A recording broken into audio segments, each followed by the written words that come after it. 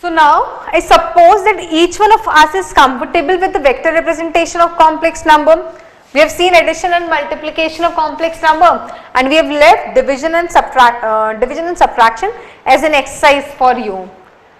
Now when I am representing complex number as when I was representing complex number as vectors something strike into my mind.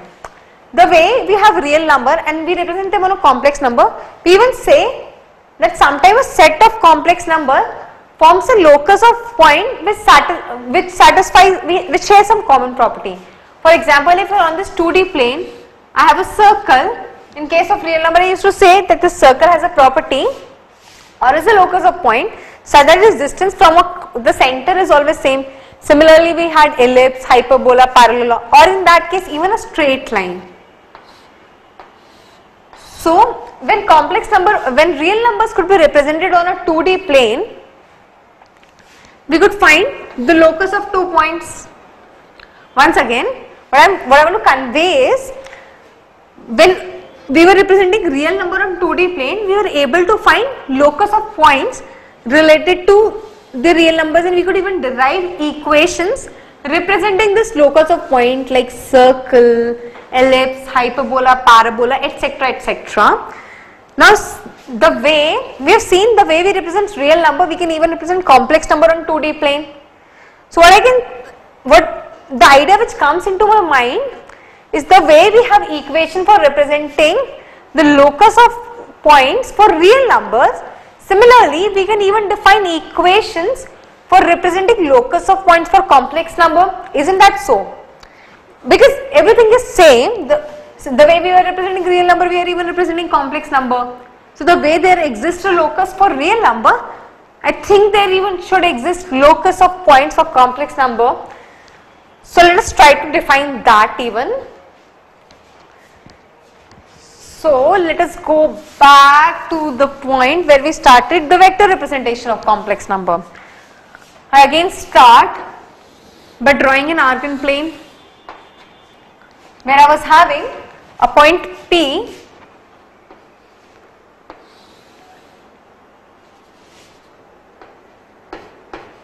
representing a complex number z1.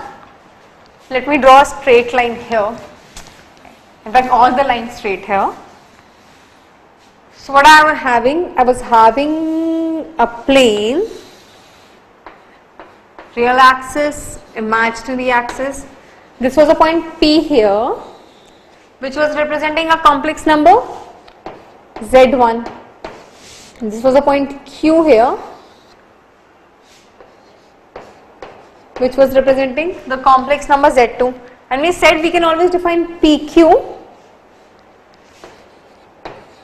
S Z1 minus Z2. Now in this case my uh, these two um, these two vectors OP and OQ are intersecting at the origin and if this angle is theta 1 and this angle is theta 2 I could say that this angle is theta 1 minus theta 2. Now what I want to find next is a what if these complex number uh, uh, intersect at some point on this Argand some arbitrary point on this plane and I want to find the angle between these two vectors. So till now we saw how we can represent addition and multiplication of two complex numbers on Argand plane and we have left uh, the division, the representation of division and subtraction as an exercise for you all. Now one more thing which struck into my mind when I was representing complex numbers on this Argand plane. What I saw was, what I observed was,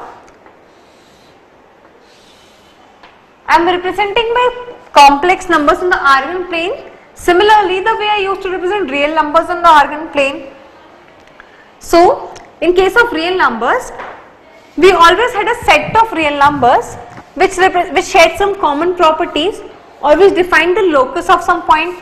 For example, we had a circle in case of real numbers such that which, such that a which was a locus of point such that its distance from the center is always equal. Similarly, we had ellipse, parabola, hyperbola in that case, even a straight line. Now the way, the way we had points sharing some common properties or uh, representing a locus of point in case of real numbers, we can even have such locus of points in case of complex number because the idea is still the same. The way we were representing real numbers with x and y coordinates, we are representing complex number with real coordinates and imaginary coordinates. Rest all the thing is same. So the way we used to define locus of points for real numbers, we can even define locus of point in case of complex number which in case we have it we have here. So the next topic that we are going to start with is how we can find locus of points in case of complex number. We have studied a complete topic of coordinate geometry to find the locus of points for real number. Now the next topic which we are going to start for start is we are going to find locus of points for complex numbers. So let us start. Suppose I am starting by again drawing the Argand plane. We had already seen that if we have point P and point Q P representing complex number Z1 and Q representing Z2 then we can represent PQ by Z1 minus Z2 this we all are comfortable with so the next thing which I want to find in that in the previous case we saw that the OP and O that OP and OQ were intersecting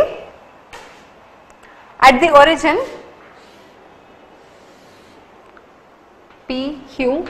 These two vectors were intersecting at the origin and this angle OP, OQ we could define as theta 1 minus theta 2. I suppose everyone is clear with this one. So the next topic which we are going to find start which is that we have to derive a general equation to find angle between any two intersecting lines. So what we have to find is we have to find angle between two intersecting lines. Let us I'll try to first represent that with the help of the Argand diagram. For example, I have three non-collinear points Z1, P, Q, R, P representing complex number Z1, R representing complex number Z2 and Q representing a complex number Z. I have a line PQ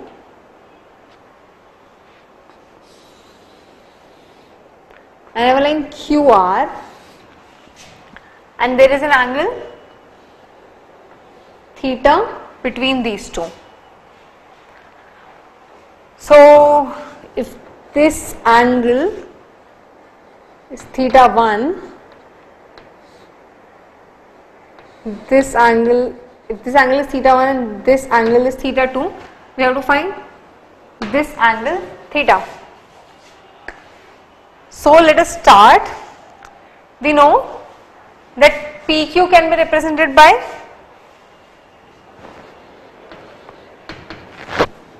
the vector z minus z1. OQ can be represented by vector z minus z2. Okay. The angle POQ would be equals to theta 1 minus theta 2 which would be equal to what is theta 1 argument of z minus z1 and what is theta 2 argument of z minus z2 this I can say that angle P OQ I can as argument of z minus z1 minus argument of z minus z2. Thus, we have is that angle POQ is equal to argument of z minus z1 minus argument of z minus z2 which is nothing but equal to argument of z minus z1 upon z minus z2 because we always, always know that argument of A minus argument of B is equals to argument of A by B. Now, if I want to represent this vector z minus z1 upon z minus z2, I can represent this as mod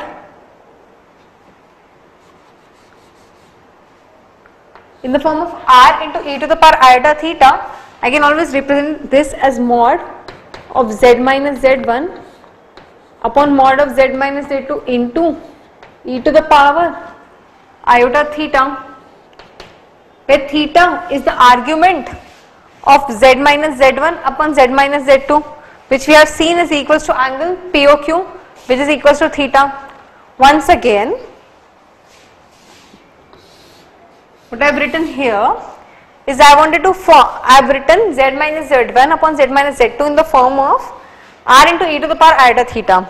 So in that case r would be the modulus of this thing and theta is the argument of this complex number which we have seen from here this argument is nothing but the angle POQ which in this case is theta. This equation is even termed as Honai method. Not a very commonly used term. This is just I've read I read it in some books. I'm sharing this with you even. And whenever we'll use this equation in solving some problem, I'll always refer to this one as Coni method. Now let us see one question based upon this so that we can see how we can apply this equation. Do you want me to keep this diagram or erase this? I think it's um, I think everyone will be comfortable even if I erase this. So let us rub this one and solve the question. Solve one question based on it so that we can understand the application of this complete method and we can even understand what we are basically trying to solve. I know this all is all in terms of Z, Z1, Z2. So we are not going, uh, not able to pictorially represent it or really imagine it in terms of 2D plane. I think this question will help us in so, uh, will help us in understanding the topic better. So what we had derived till now was that Z minus Z1 upon Z minus Z2 is equals to mod of z minus z1 mod z minus z2 into e to the power iota theta where theta is the angle between z, z the vector z z1 and vector z z2. Now let us see one question based upon this. So the question which you have to solve is that if z1, z2, z3 are the vertices of an isosceles right angle triangle at C. So we have Z1, Z2 and Z3 are vertices of isosceles triangle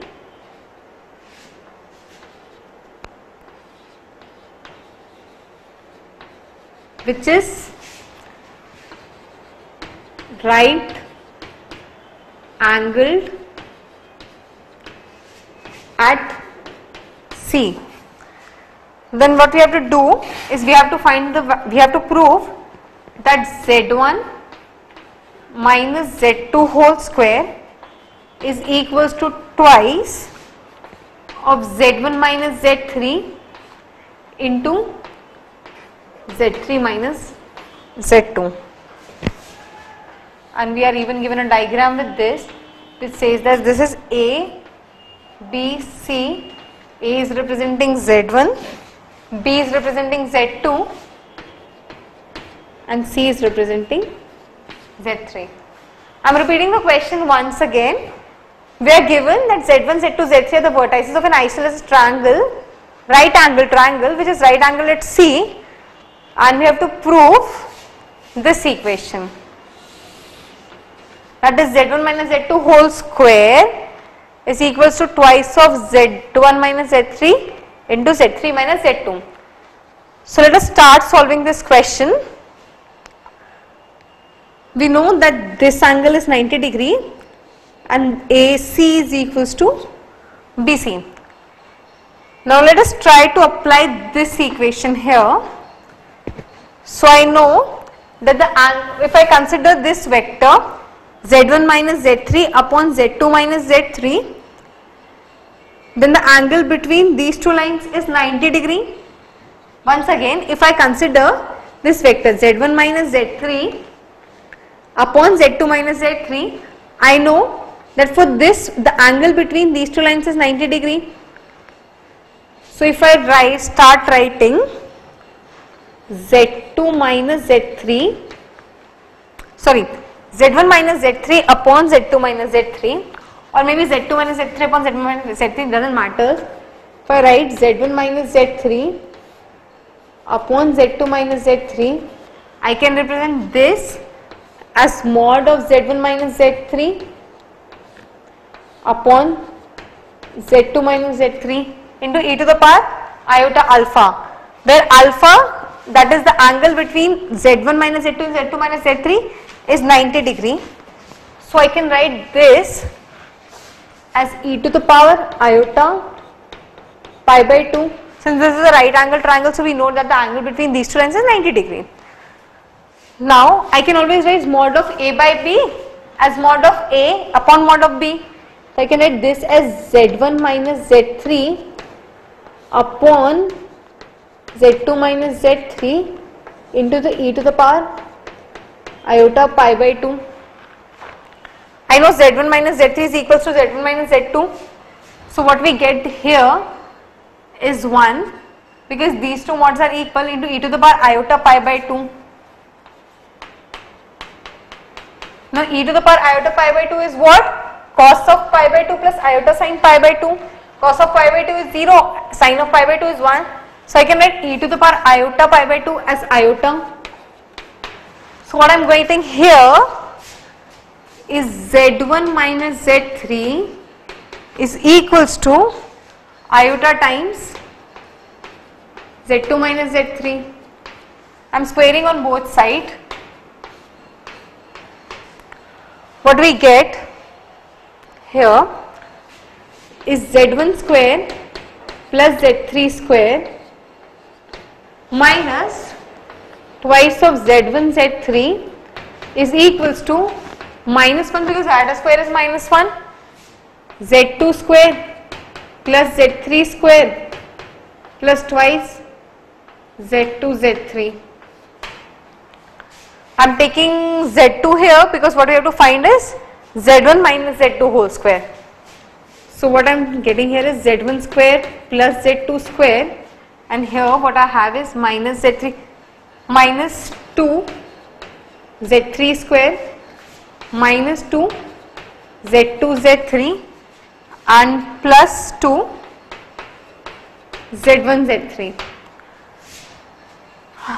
I am sub, uh, adding minus 2 z1 z2 on both the sides because I want this term on the LHS that is z1 minus z2 whole square. So what I get here this term boils down to z1 minus z2 whole square and this term is equal to twice z1 minus z3 into z2 minus z, z3 minus z2. So we have derived the result that we wanted to obtain. Once again we started by applying this equation. So we knew that the complex number z1 minus z3 upon z2 minus z3 can always be represented as mod of this into e to the power iota of theta where theta was the angle between z1 minus z3 and z2 minus z3 which was pi by 2. So we could write this as e to the power iota pi by 2 into mod of z1 minus z3 mod of z2 minus z3. We knew that mod of z1 minus z3 and z2 minus z3 are equal because these two angles, uh, these two lines are equal. So we got this term equals to iota. We took iota here, squared it, solved it and we finally derived the result which we wanted to obtain. I hope everyone is comfortable with the question.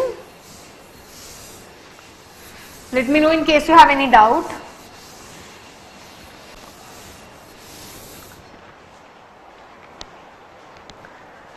Now The next topic that we are going to discuss under the locus of complex number is complex number as a rotating arrow in Argand plane. I will explain what I would, what I mean by such a long term. So for example, on this Argand plane, I have a point P represented by R comma theta which is representing a complex number Z.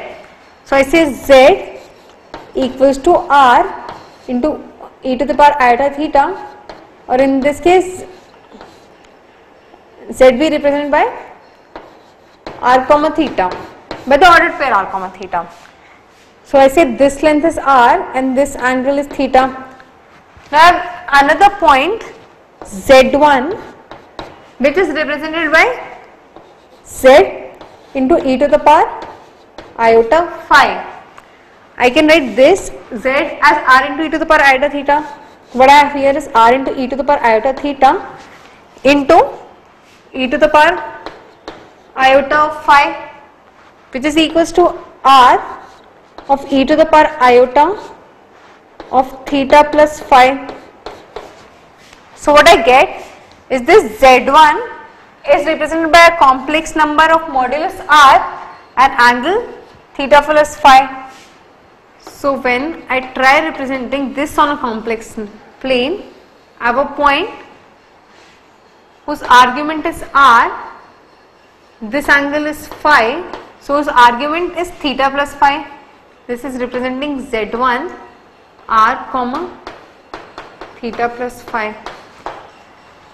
So what I observe here is when I multiply a complex number z by e to the power iota phi in anti-clockwise direction. Uh, in, uh, when I multiply a complex number with e to the power iota phi, I am getting a complex number with argument theta plus phi or in other words, I am rotating this point z by an angle phi. Once again, I will speak whatever, uh, I will speak this once again. What I have done is, I am saying is when I multiply z by e to the power iota phi, I am getting a complex number whose modulus is same as r but whose angle is theta plus phi. So by multiplying z by e to the power iota phi, I am basically doing is what?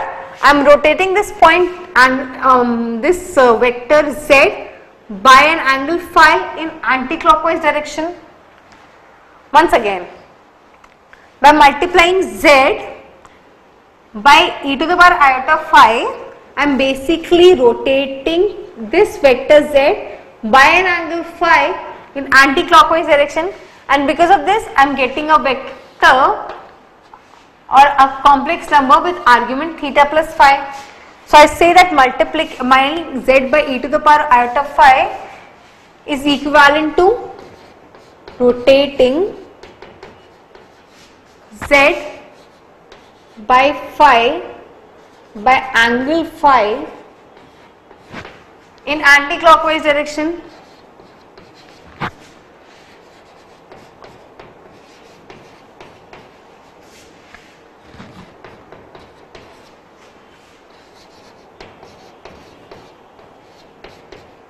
Similarly, multiplying z by e to the power minus iota phi is equivalent to rotating z by an angle phi in clockwise direction.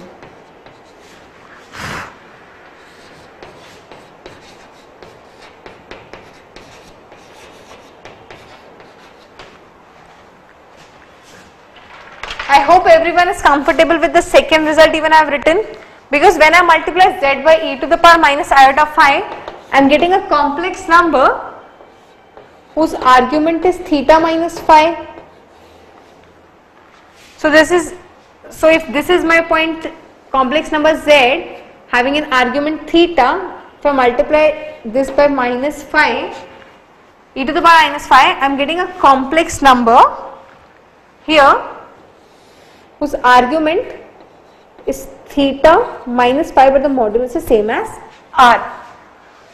So this is this is what I meant by the very long term which I introduced in the starting was that um, rotating a com uh, complex number as a rotating arrow in the r plane which simply boils down to two very important results that is if we multiply a complex number with e to the power iota phi what we are doing is basically we are rotating this complex number z by an angle phi in the anti-clockwise direction and if we multiply this z by e to the power minus iota phi what we are doing is we are basically rotating this complex number z by an angle phi in the clockwise direction.